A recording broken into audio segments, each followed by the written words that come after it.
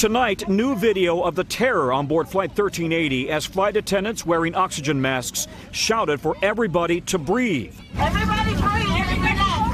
Everybody breathe. We're almost landing. The plane in a fast emergency descent after losing an engine and sucking passenger Jennifer Riordan partially out of a shattered window.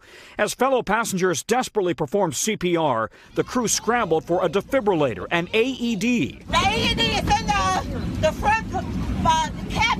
On the ground, investigators found a broken engine fan blade and signs of metal fatigue. In 2016, another fan blade broke off a Southwest engine. Last year, engine maker CFM pushed the FAA to order airlines to inspect certain fan blades within 12 months because the metal fatigue is likely to exist or develop in other products of the same type design. But citing the number of planes affected, Southwest was among several airlines to request more time.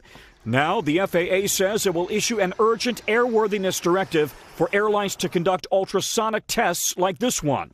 Victor Aviation conducts similar tests in California looking for metal fatigue. We're looking for a specific area of interest, a very small pinhole or crack down to the size it could be less than a human hair. Southwest and other airlines say they've already started inspecting their fan blades. Meanwhile, the photos of Southwest passengers improperly wearing their oxygen masks, not covering their noses, have veteran flight attendants issuing a warning. Put those cell phones away. Listen to the safety briefings. And in an emergency, listen to the flight attendant instructions. This is life or death.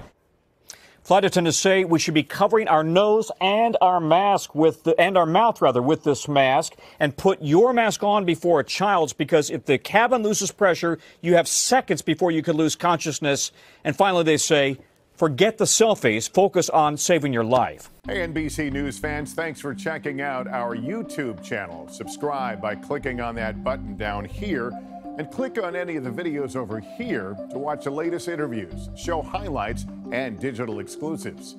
Thanks for watching.